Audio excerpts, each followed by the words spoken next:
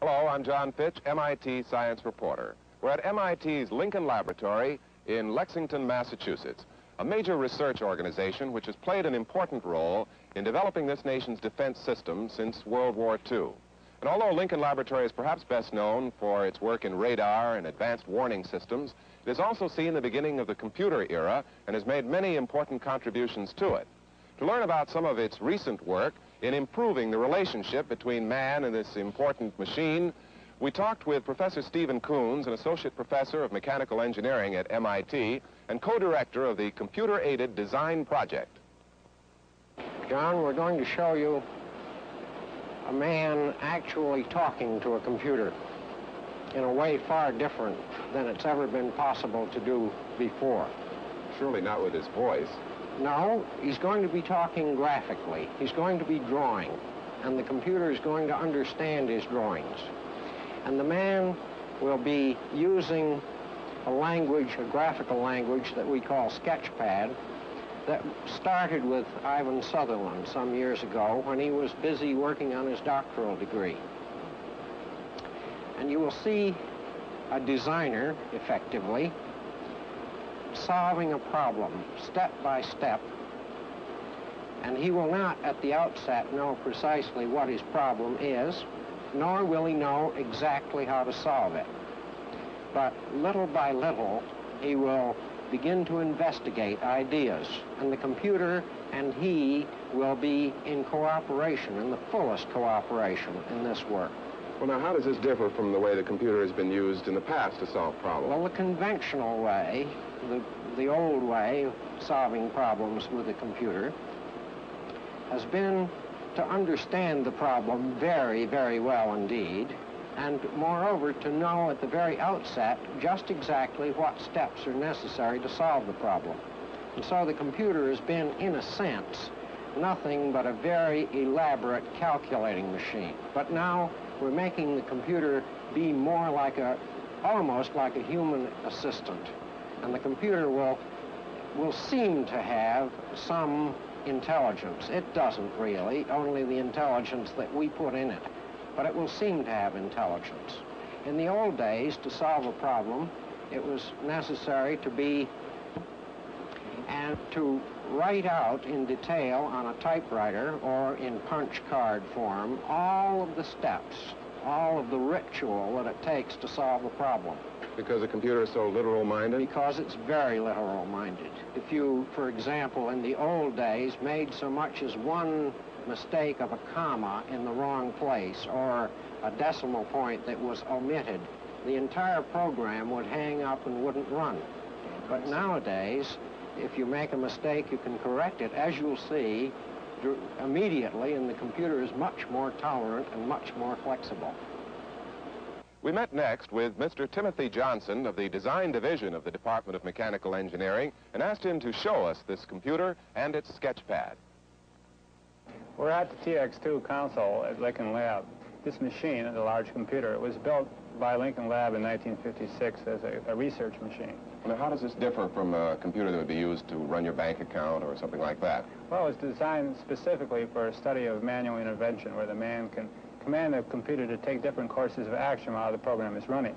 You can see we have several unusual pieces of input-output equipment here. We have uh, a scope, a knob. These are unusual at the time, uh, and push buttons, toggle switches. We have several other related devices. This made the TX2 a prime candidate for the Sketchpad developments back in 1961, and it remained a program in this machine, so it would uh, become a coherent partner in graphics, so the man can communicate with the machine. Now, how do you actually go about communicating with a, a computer in a graphical sense? Well, we are using an oscilloscope here, which is much like a, uh, a TV set, except it's being driven by the computer. Uh, in order to get the information into the computer, we have to draw somehow on this display. And we use the light pen. Well, in order to construct a meaningful engineering drawing, we have to have several graphical manipulations. Ivan's Sutherland's programs can draw straight lines and circles. Well, that's about what you do in uh, the drafting equipment anyway, isn't it? That's uh, a very good start. T right. squared. In order to do this, we can position this bright spot in the middle, middle of the cross that you notice at a desired location. And we press the button to command the computer to draw a line. It will draw a line from this position where I am now to any subsequent position of my light pen. This is much like a rubber band stuck on two pins. One is nailed on the, on the screen here, and the other is at my light pen. So I can position this anywhere I want. Mm-hmm. Now, I lost tracking there. I moved the pin too fast, and that told the computer to stop drawing the line. Well, if you notice, that bright dot will jump onto the line as I get close to it. Well, the dot in the center of the cross, when you get close to the line, jumps over onto it. Correct. Wh- Why It's- does it do that? It's much like a gravity field. At the end point, it, it is even a higher gravity field to allow us to position the point exactly on the line, or in this case, exactly at the end point. This allows me to move my pen quite coarsely, be sloppy while I'm drawing, Mhm. and get a, a precision drawing out at the same time. So now I'm going to draw a second line, and even a third one. Now, in an ordinary uh, pencil and paper drawing, all we have is this particular picture. But the computer understands the geometry of the drawing here. What do I mean? I mean that if I point at this particular point and tell the computer to move that point by an- another push-button command, it will move not only that point, but all three lines that are attached to it. And the delay between it's doing what you want it to uh, is um, because it's computing all these changes. That's correct.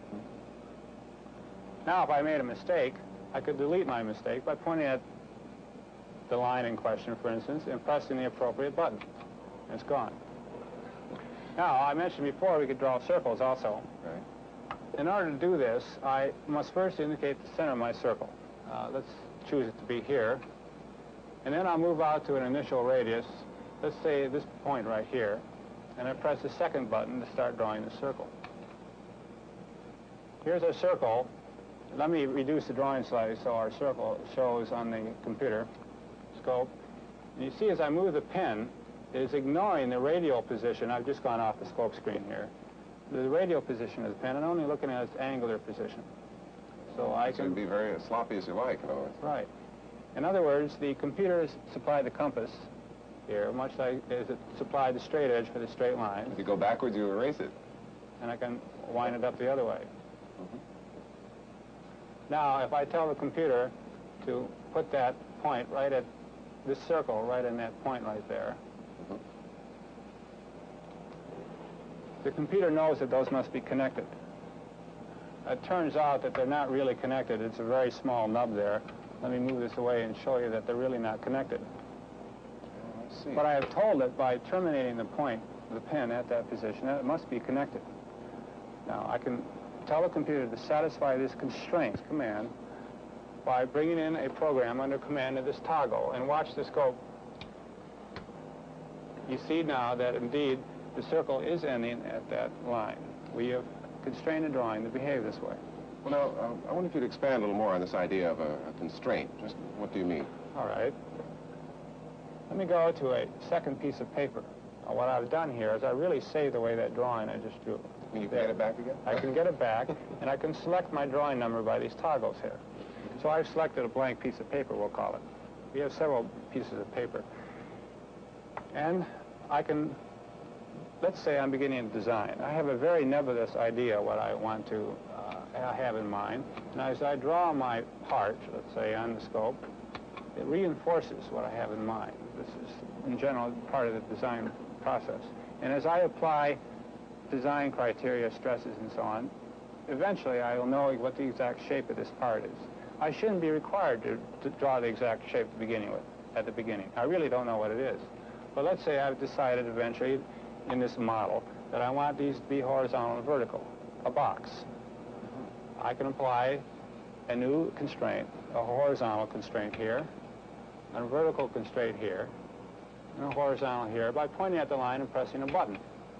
Well, no, nothing has happened yet because remember I still must tickle that toggle over there to command the computer to satisfy these constraints. See. It won't actually let those rubber bands relax then until you say so. Right. And I'll do that and watch again. There we have a box.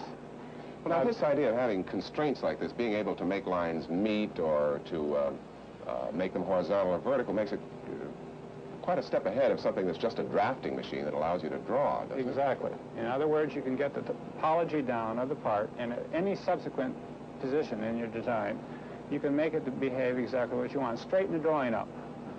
In other words, you don't have to draw exactly at the beginning like you have to do in drafting. This is, of course, just one aspect of the, uh, of the program. Now, what I can do, in addition to this, is call up copies of master pictures. Remember that picture we drew before? Mhm.